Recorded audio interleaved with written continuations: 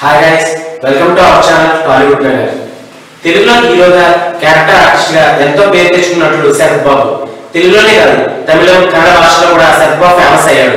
తన కెరీర్ మొత్తం మీద ఇప్పటి వరకు దాదాపు రెండు వందల యాభై చిత్రాల్లో నటించిన శరత్ బాబు ఇప్పటికీ యంగ్ మ్యాన్గా కనిపిస్తాడంటే అతిశయోక్తి కాదు.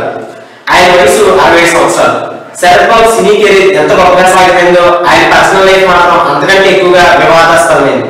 ఆయనకు సీనియర్ నటి రమగారితో సంబంధం అందరికీ తెలిసిందే. అయితే ఇద్దరు కొన్నాళ్ళకే విడిపోవడంతో అసలు ఏం జరిగిందో తెలియక చాలా నాలుగు జనాలు సందేహాలు తెరపైకి వచ్చాయి.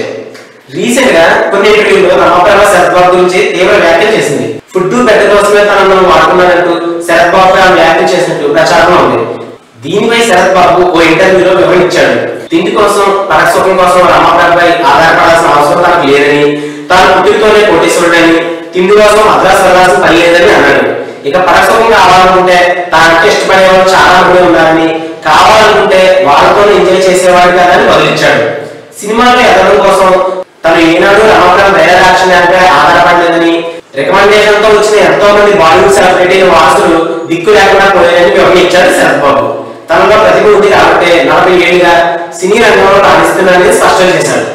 రమాప్రభతో వ్యవహారం ముగిసిన కథని ఆమెకు అప్పట్లో తాను రాసిచ్చిన ఆస్తి విలువ అరవై కోట్లు ఉంటుందని వెల్లడించారు. ఒక ఆస్తిని అమ్మి ఆమె పేరు మీద ఆమె తమ్ముడు పేరు మీద రిజిస్టర్ చేయించాలని సత్యబాబు బాబు వివరించాడు ఆశ్చర్యం కలిగించే విషయం ఏంటంటే రమప్రభతో పెళ్ళయ్యే నాటికే శరత్ బాబు ఇరవై రెండు ఏళ్ళు మాత్రమే.